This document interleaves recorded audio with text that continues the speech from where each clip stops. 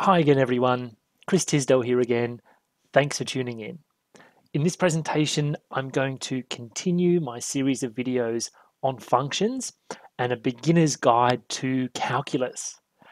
Now, this particular presentation is all about split functions. Now, split functions are functions that follow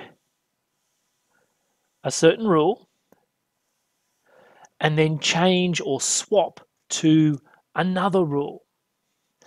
Okay, they're sometimes called piecewise defined functions. Now, the easiest way for me to um, talk about a split function is to draw a little graph. Okay, so don't worry about this too much.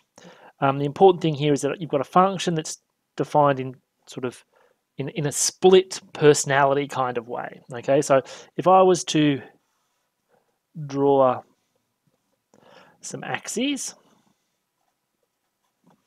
And let's say I put in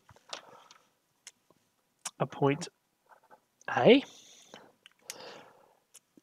What this says is that, okay, so for on the right hand side of A, your function satisfies a certain rule. Here it's g of x. And then on the left hand side, oh, that should be colored in and that should be open.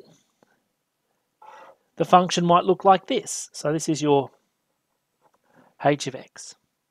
Okay, you can see as we move from left to right, there's an abrupt change here.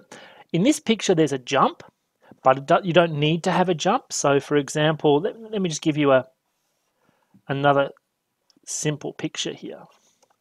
Suppose I had a split function that was where g of x was x and h of x was negative x. So you would have something like this then. Okay, here's negative x and here's your x. So in this case, g of x would be x, h of x would be negative x, and you can see the change happens at a equals 0. Okay, so let's do an example and see um, how this fits together. All right, this is a pretty simple example. Consider the function f defined in this kind of split or piecewise way. To the right of 1, the function is 4 minus x, and to the left of 1, including the point 1, the function is 2x minus 1. Okay, now you can draw a picture, but it's not necessary. I'll just do the algebra first, and then maybe I'll draw a picture in a minute. Okay, so we're asked to compute three values. When x equals 0, when x equals 1, and when x equals 3, we want to calculate the values of our function. Okay, so let's do that. So for the first one, we want to calculate the value of this split function when x equals 0. So the jump happens at 1. Okay, so this is the definition for x to the right of 1. This is the definition for x to the left of 1. So 0 is definitely less than 1. It's to the left of 1. So this is the definition that we want. Okay, so 0 is less than or equal to 1.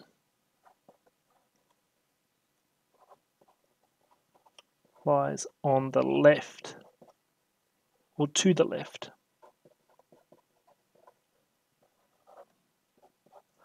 So, f of 0, in this case, we want this definition, this, this function. Okay, so I'm going to write that like this. So what this square bracket means is that this is our function and we're about to substitute or evaluate it at x equals 0. So if I replace x with 0, I get 2 times 0 minus 1, which is just negative 1. Okay? Let's go and do the next one. So what happens when x equals 1? Well, at x equals 1, we want this definition again because x, in this definition, x is less than or equal to 1. So if x equals 1, I'm still in this zone. Okay? So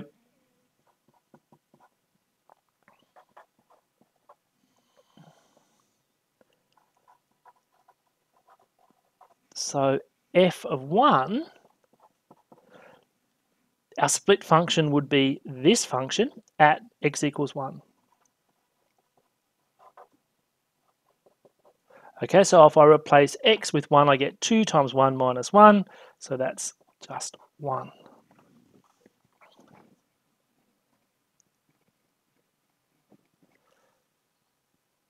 Okay, so last value, f of 3. So 3 is greater than 1. It lies to the right of 1. So we don't want this definition. We want this definition here. Okay?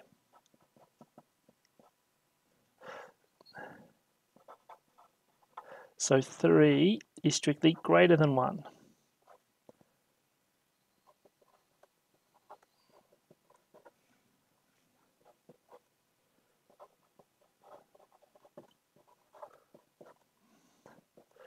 So, f of 3 is just this function evaluated at x equals 3.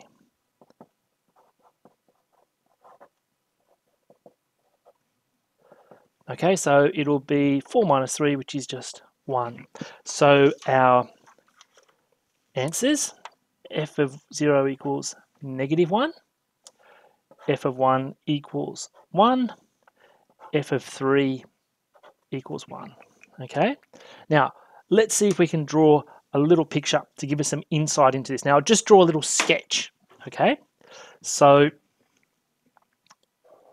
if I just draw in some axes here, and this is just going to be rough, let me pull that down a bit. Okay, so the jump point occurs at say 1. So to the right of 1, we've got the straight line 4 minus x. So that's a decreasing function. And um, uh, it'll be heading towards positive 3. Okay, so it's going to look something like that. Okay, again, just a very rough, rough sketch. And this might be 3. Okay, because um, oh, sorry, 4. It cuts the x-axis at 4. Okay, what about this function? Well, this function, on the other side, this is an increasing function. It's got, it's again, it's a straight line. It's got a gradient of 2 and a y-intercept of negative 1. So if I sort of put negative 1 there, this function here will actually, um, at x equals 1, I get, I just calculated that, I get um, uh, 1. So it'll look something like this.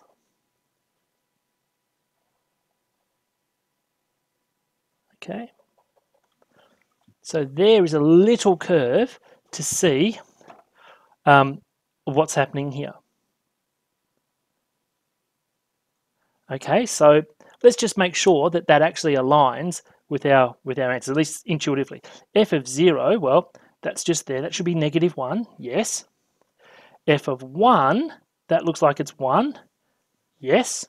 f of 3, that looks like it it's heading down to 1 there. So I think we're okay. So you can do a lot with split functions. Split functions are great because they helped us to describe functions that go through a change. I hope you enjoyed this video. I'll be doing more introduction to functions and calculus uh, soon. Please join me again. See you later, everyone. Bye.